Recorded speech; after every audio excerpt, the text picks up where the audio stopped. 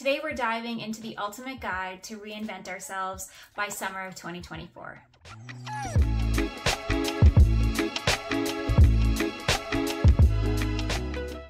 Friends, welcome back to my channel. It is officially Q2 of 2024. The seasons are changing, it's spring, but that also means we only have three months until summertime. Now that it's spring and with the changing of the seasons, we wanna reflect on the past three months, but also where we have the urge to better ourselves by summertime. If you're new here, my name is Angelin.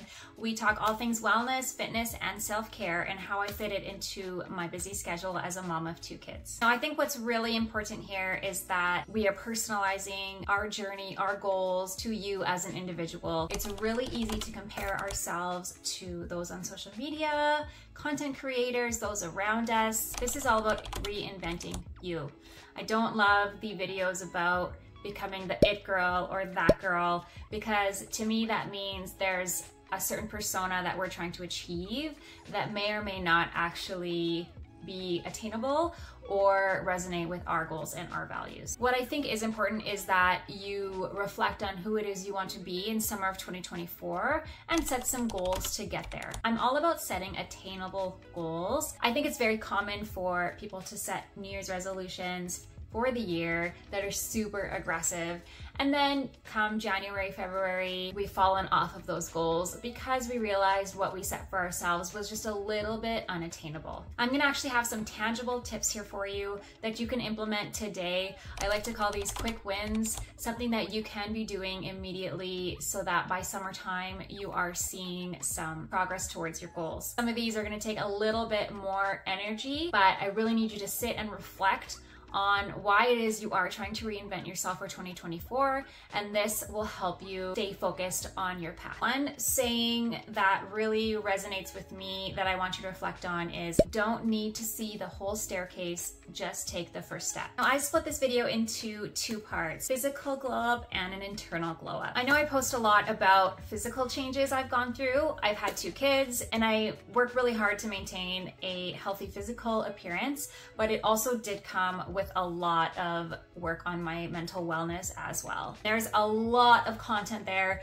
about how to get back to your pre-baby body weight or whatever, but in my opinion, there's no going back to the person I was physically or mentally. I grew two different humans in my body and there's no going back to the girl I used to be. That's a video for another day. So whether you're young or old, a parent or not, single or coupled, there is something for you in this video. Now, before I go into the physical and internal glow up steps I have for you, I want you to think about your goals for summer of 2024. Who is it that you want to become? What is it that you want to look like? Setting clear goals help us stay focused on our journey. Like I said, a lot of people set really aggressive New Year's resolutions, and as they work through them, they realize it's something that's not really attainable for their lifestyle. Starting small and keeping in mind you don't have to change everything all at once. This is all about progress, not perfection. There's gonna be stumbles along the way, but if you fall off for a day, you need to just reflect and then move forward. Now, something that I think is important is putting our goals out there in the universe for example, a goal for myself by summer of 2024 might be that I want to be able to do pull-ups.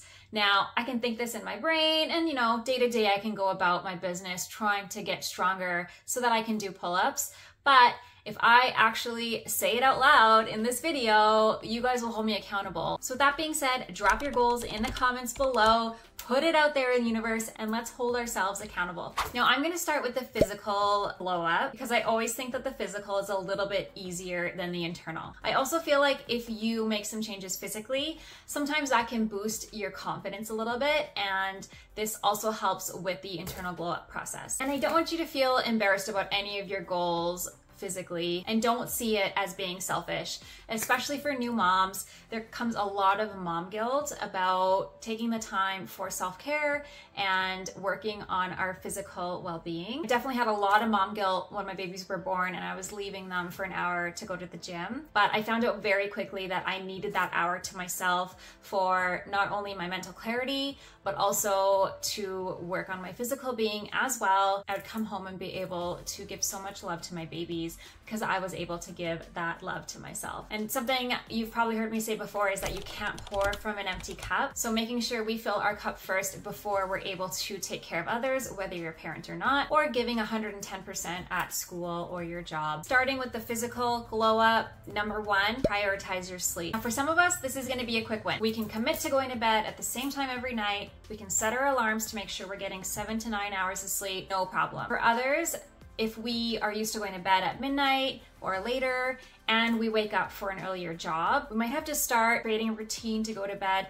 a little bit earlier each night until you get to that seven to nine hour sweet spot of sleep. When you get enough sleep, you have the mental clarity, you have enough energy. I find I make healthier food choices throughout the day if I've had enough sleep, and it's just much better for mood regulation as well. Now, I'm not saying you need to wake up at 5 a.m. every day. Again, this is personalized to you and what works for you. Maybe you don't start work till 9 a.m. and you can go to bed at midnight and sleep till 7.30. This doesn't work for me in my schedule because I have two kids and I work a nine to five. Going to bed super early and waking up super early is what works for me. You have to find what works for you. Next, stay hydrated. You knew I was gonna say this. You just have to do it. You gotta do it. Set a goal for yourself and aim for that goal every day. Now, that goal is to be different for everybody. For me, my goal is to drink three liters of water a day. Sometimes I hit it, sometimes I don't. On the days I don't hit it, I don't beat myself up. I just reflect and move forward.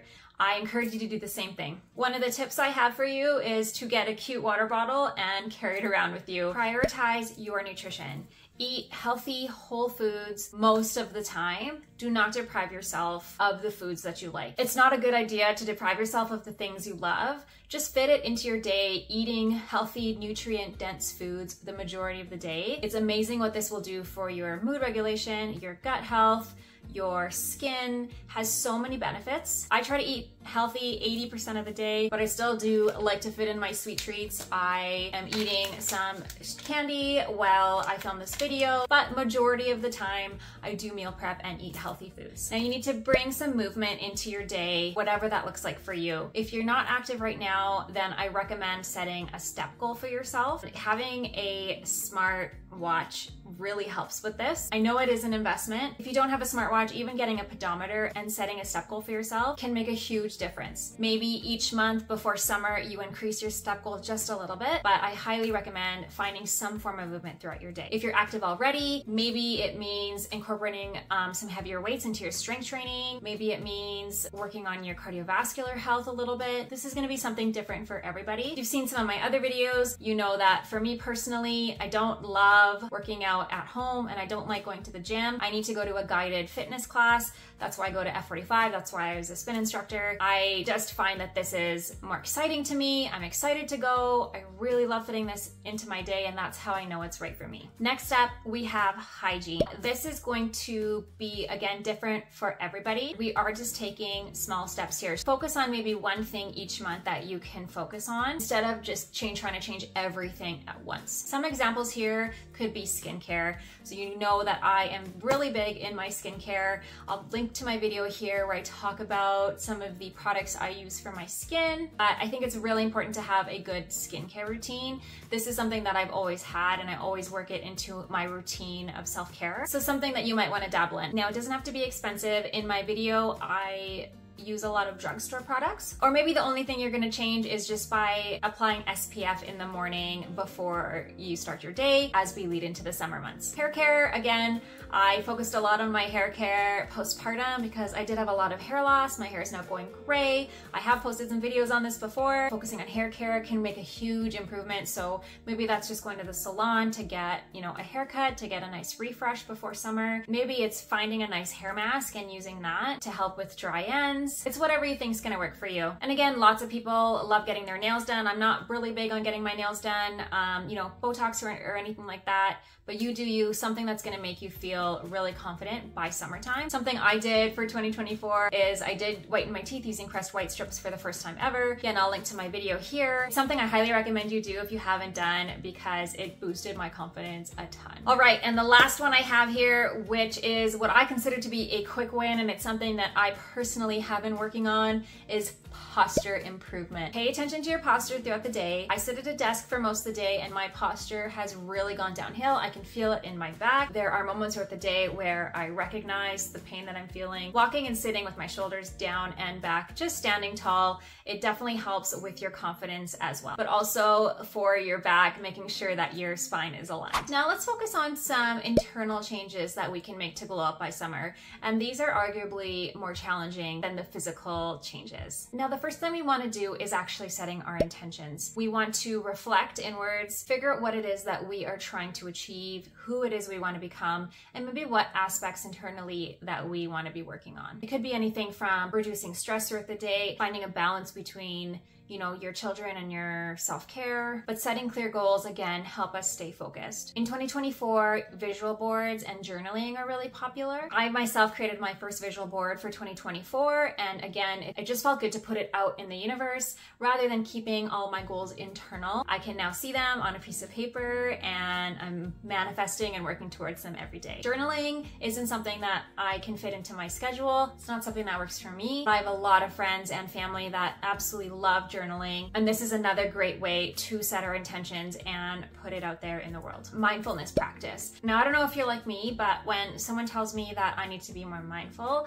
I picture people just meditating, and this 100% is not me. I wish it was me, but it's not. Now, I think mindfulness can come in many different ways. I have a lot of friends that work meditation apps into their day. So setting, you know, 15, 20 minute guided meditations has really improved their mental clarity and helps them be more present throughout the day. So I have a hard time with this and it doesn't really excite me. It's something that I might try later on, but for this point that I'm at in my life, don't love the idea of sitting down to meditate. For me, mindfulness comes from putting my phone down, especially when I'm around my children, so that I can stay present with them. But also, I like to dabble in diamond painting, card making, scrapbooking, paint by numbers. For me, these are really meditative hobbies. I find that I can wind down, decompress, and I would highly recommend any of these if you haven't tried them. There's also a bunch of different other hobbies that you can take up knitting, crocheting, learning an instrument, and bonus, if you go and take one of these classes, it's a great way to actually meet like-minded people. I think one of the most popular meditative hobbies that people have is gardening. I do not have a green thumb. If you watch any of my YouTube videos, you know that I have like a dying plant here in my office. I'm working on it, but again, it's not something that excites me, so I'm not gonna force myself into doing it. Overall, practicing mindfulness reduces stress, provides mental clarity, and helps us stay present throughout our day. Next up, we have gratitude practice. And again, this can mean something different for everybody. I think when you think gratitude practice, people think they have to have all this expensive stuff that they need to be grateful for. It is absolutely not the case. So I think it, it starts with a shift in your mindset and reflecting and focusing on those positive aspects of your life. When you go to sleep at night, rather than scrolling through your phone, maybe just close your eyes and pick a couple things to be grateful for that day. It doesn't have to be, like I said, anything crazy. It can just be that I'm so grateful that I have a roof over my head and that I'm so grateful that I can provide food to my children to feed them. If you're a new parent, it could be celebrating victories throughout the day, being grateful for a successful feed or a peaceful nap. Lots of people have gratitude journals and these are really popular as well. You know, the five minute gratitude journals where you spend five minutes of your day reflecting. But again, I think just shifting towards having a more positive mindset can have a huge impact. For example, stop saying things like I have to go to the gym today and saying I'm grateful that I have a healthy body and I'm able to go to the gym. I have to drink three liters of water? No, I'm grateful that I have clean water that I can drink. Setting boundaries. Setting boundaries is huge for our internal glow up. It's time to rid yourself of relationships or people in our lives that are detracting us from our goals, who bring a negative energy, or whose values simply do not align with ours. Now, this could be someone you know in real life, or it could actually be someone that you follow on social media. I really want you to reflect first on your relationships in person. I want you to think about, is this person helping me on my journey for physical and internal glow up, or are they draining me of my energy. We want to be surrounding ourselves with like-minded individuals. You know, especially as summer comes up, people are more social, they're more active, you're going to get invited to many things. So again, thinking, are the people that are inviting me or the people that are going to be there, people that I want to see, people that are going to lift me up and help me on my journey. If not, just try to avoid people that you feel are toxic. Try to prioritize activities and relationships that bring you more joy and fulfillment. Now, for social media, I'm not saying you need to unfollow everyone and, you know, cleanse yourself of your social media. This is such a popular thing these days. I'm saying if you follow an influencer or a content creator and what they're posting is inspiring or motivating you, then 100% continue watching their content because this is helping you on your journey. But if you find yourself being jealous of someone's house, of someone's clothing, of someone's body, immediately unfollow because this is not the energy we want to be bringing. Self care. I'm a huge advocate for self care, and that's probably one of the main reasons that I started this channel. So many women I know don't prioritize their self care and lose themselves after having children, and that's why I wanted to start this channel to motivate and inspire others to really be focusing on themselves internally and physically. And don't forget to like and subscribe because I talk about self care a lot on this channel. Self care can mean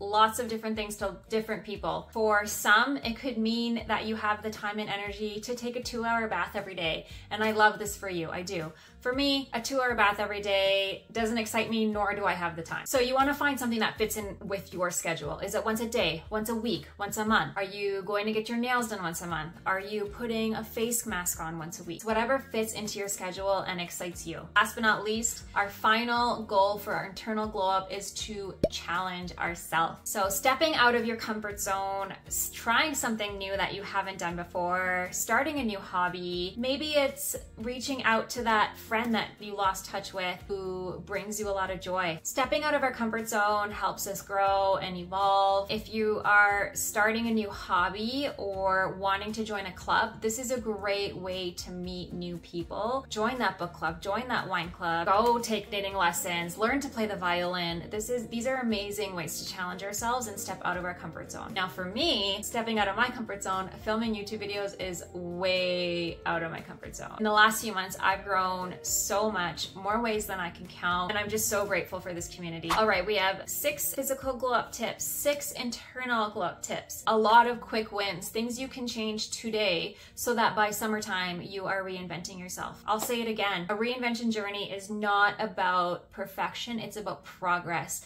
So just do something a little bit better tomorrow than you did today. I did want to mention that it's okay to ask for help. No matter where you are in your journey, don't be afraid to ask for help. Delegate tasks, lighten your load, set realistic expectations for yourself, but don't be hard on yourself if some days you can't get there. I'm looking forward to seeing what everyone's goals are, and I'm so happy that we can hold each other accountable. Here's to summer 2024 and making this the best summer yet. Thank you so much for watching my video. I so appreciate you being here. Again, please like and subscribe, and I will see you in my next video. Bye for now.